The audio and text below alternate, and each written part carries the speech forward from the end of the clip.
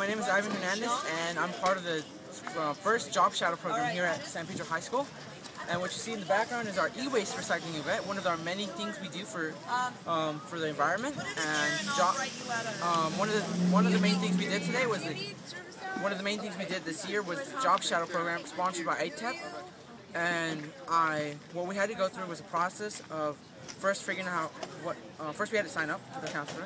I was lucky luckily able to get in. Um, we had to do we had to go through a process of making our resume, our cover letters, finding out what we can do for interviews, and all this other stuff that you have to do to be prepared for a job shadow, for any job actually. And then after a couple weeks of doing job um, job applications, resumes, cover letters, and all this other stuff that we learned about, we actually got to the point where we actually had to do research and pick one of the companies we wanted to job shadow.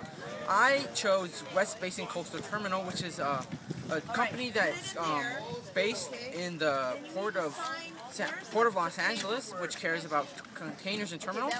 And I um, had to do research about them, and I I chose one of the jobs was um, one of the one of the managers uh, uh, at the uh, at the building, and then so I after that after show, um, turning in all my information, I had to go through an interview process with the person, and they they just pretty much reviewed me on like what things I did bad, what things I did good on the interview. They checked my resume. It was like, it was really helpful, and it was really a lot of information that I, I think was very critical and, and important for the job role.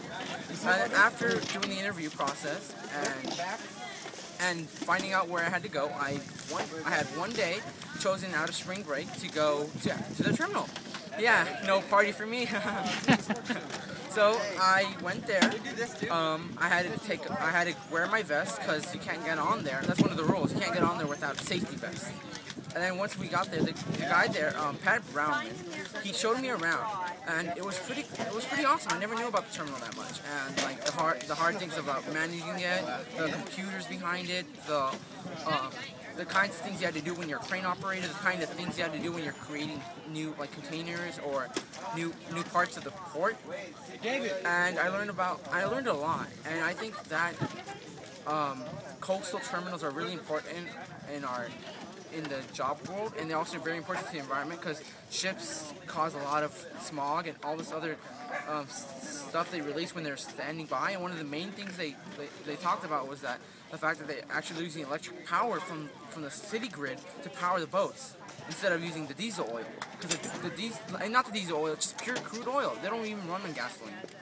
But I was really happy with the experience. I even got to get eat lunch and I got a little goodie bag. And, um, I'm really happy that I had this chance, and I might even get a paid internship during my sophomore junior year in in um, in college. But I'm really happy for this opportunity, and I wish everybody else had a chance to take this. Thanks. Thank you.